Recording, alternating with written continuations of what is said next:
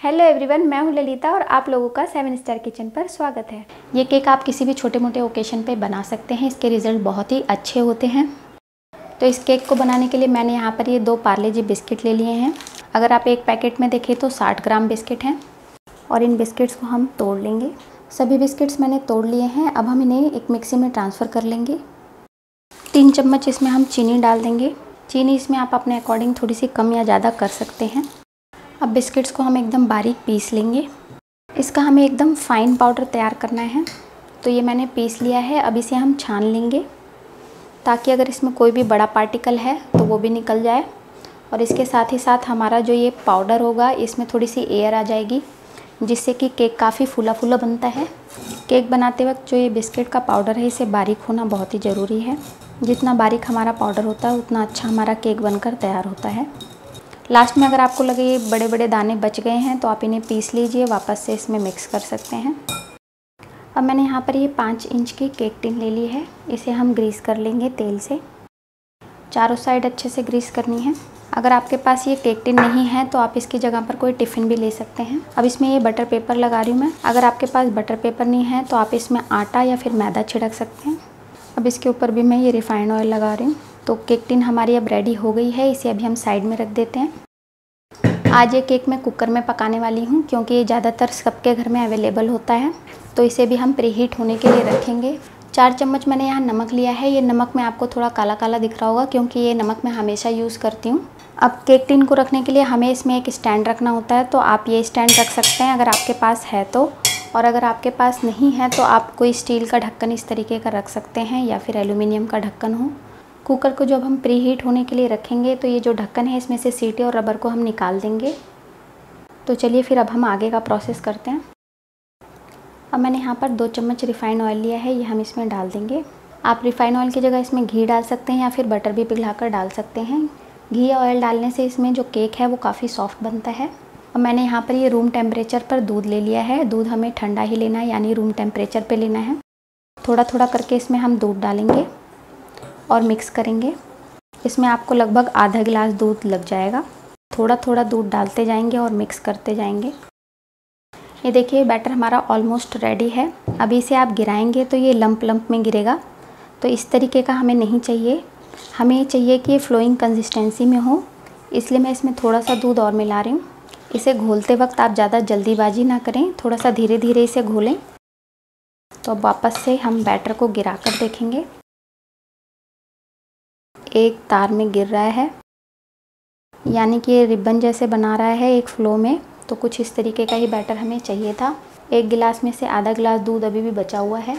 अब इसमें हम बेकिंग सोडा और बेकिंग पाउडर डालेंगे। तो दो पिंच मैंने यहाँ पर बेकिंग सोडा ले लिया है और आधा चम्मच मैंने यहाँ पर ले लिया है बेकिंग पाउडर। ये हम इसमें डाल रहे हैं।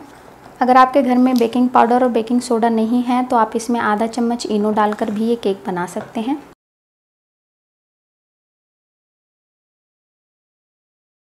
अब ये देखिए मिक्सचर जो है थोड़ा सा गाढ़ा हो गया है। तो मैं इसमें एक चम्मच दूध और मिला रही हूँ।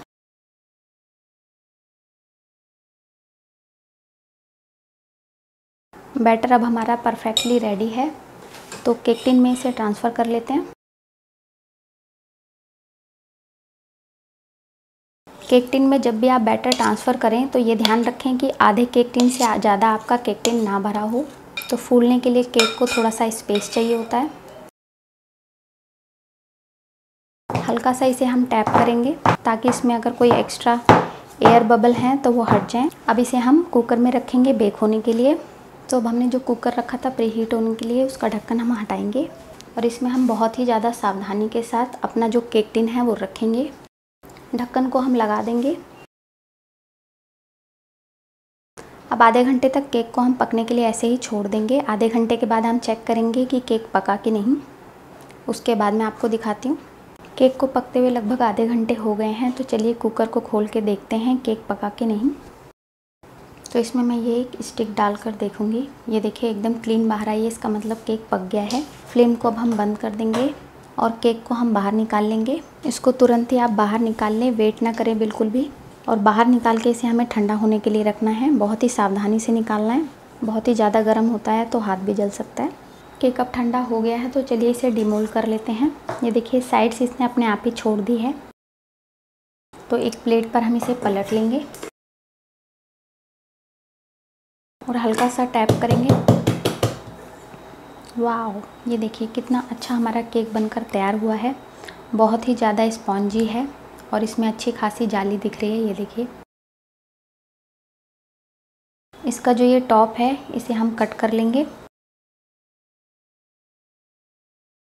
तो ये देखिए, केक हमारा रेडी है, बहुत ही ज़्यादा यम्मी लगता है ये।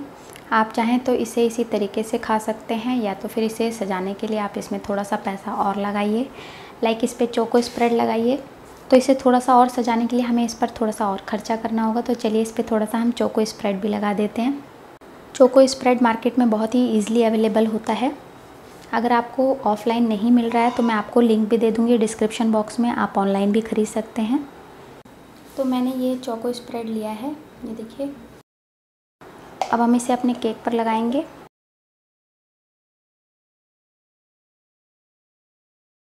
तो ये देखिए थोड़ा सा चोको स्प्रेड लगाने के बाद ये कितना सुंदर दिखने लगा है। और इसका टेस्ट भी कई गुना बढ़ जाता है। इस तरीके से इसमें थोड़ी सी अगर हम चोको स्प्रेड लगा देते हैं तो।